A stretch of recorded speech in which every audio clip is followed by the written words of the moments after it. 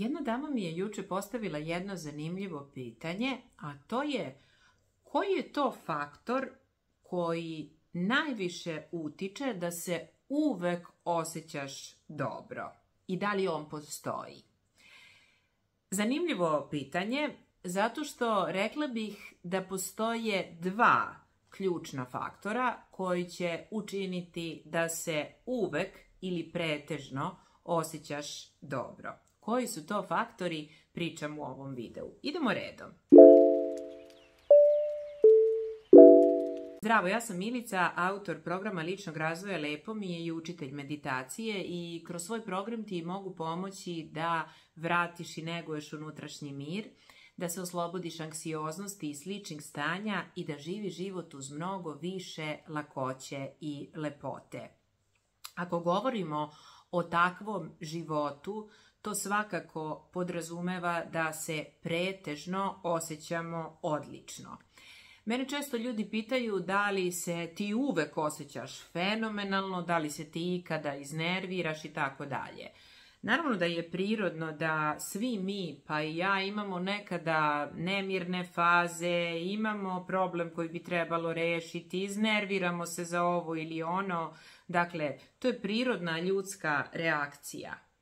Samo je pitanje koliko smo izvežbali da se brzo vratimo u ravnotežu i kako smo to postigli. I u skladu sa tim, rekla bih da postoje dva ključna faktora koji će učiniti da se uvek, odnosno pretežno, osjećaš dobro. Apsolutno faktor broj 1 je kontinuitet. Ja stalno naglašavam, kontinuitet je prioritet.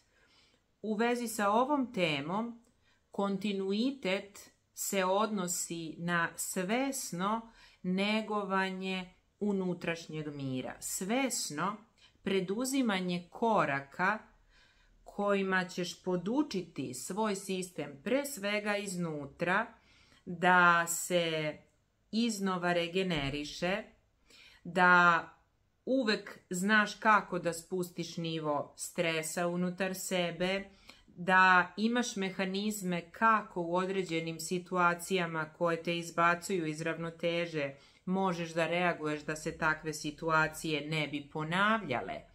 Dakle, kada imaš kontinuitet jasnih koraka kako to da postigneš, to će te dovesti do stanja u kome se dominantno istinski osjećaš dobro.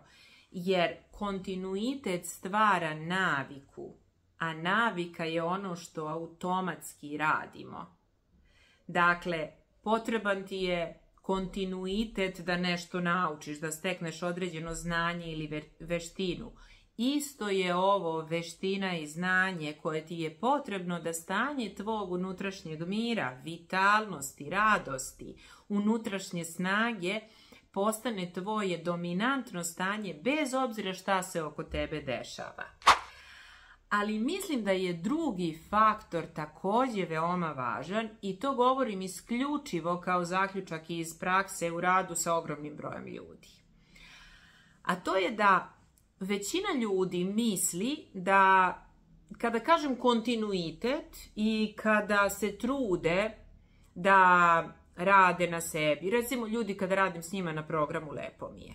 Dakle, krenemo korak po korak, radimo meditacije, primenjujemo određene tehnike, prolazimo određene korake i naravno da svako vidi benefit.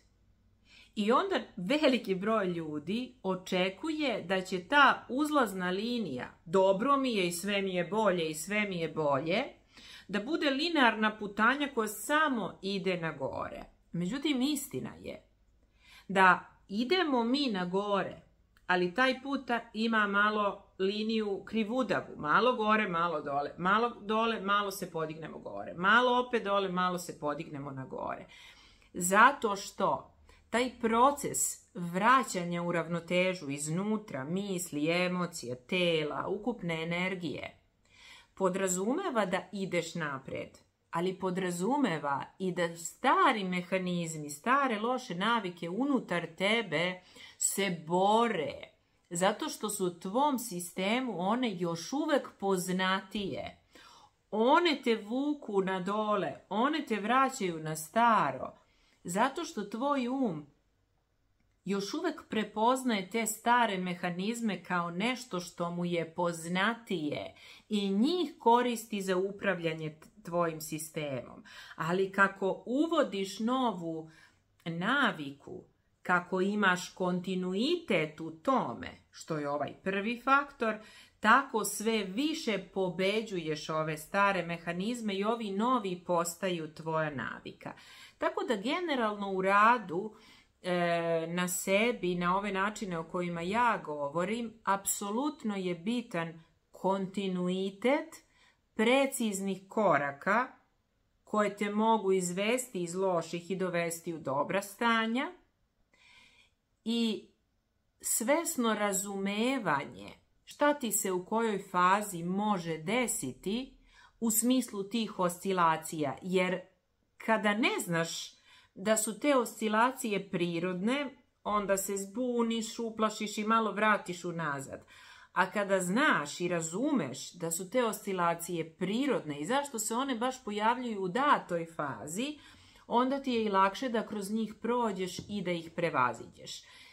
Ja to naglašavam zato što u ovom šestomesečnom online programu koji počinje 15. juna i za koji se možeš prijaviti, prijave su u toku, tokom šest meseci Pored redovnih meditacije i Zoom poziva, na online platformi upravo imaš video lekcije koje te korak po korak vode kroz proces kako bi do promene zaista i došlo. Ali upravo iz ovog razloga koji sam ovdje objasnila, ja sam napravila da te video lekcije funkcionišu tako da u svakoj fazi ja iz prakse znam kad nastanu te oscilacije, dobiješ objašnjenje zašto dolazi do te oscilacije. Tako pokrivamo oba ova faktora i nema iznenađenja. A ukoliko i bude nešto što je iznenađujuće,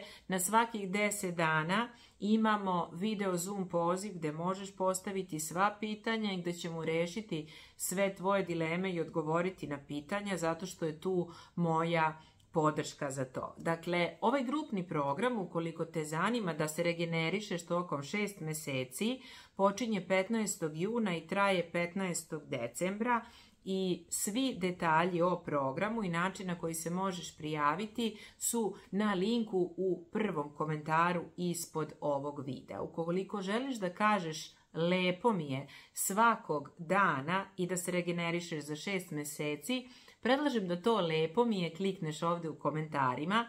Ukoliko ti se ovaj video dopao ili bio koristan za tebe, predlažem da klikneš jedno like i hvala ti na tome. I ukoliko već nisi, predlažem da klikneš ovo dugmence subscribe i da označiš zvonce, zato što kada ti označiš zvonce, to znači da svaki put kada ja objavim video ti dobijaš informaciju o tome, a ja obećavam da će to biti informacija koja će te obradovati. Hvala ti.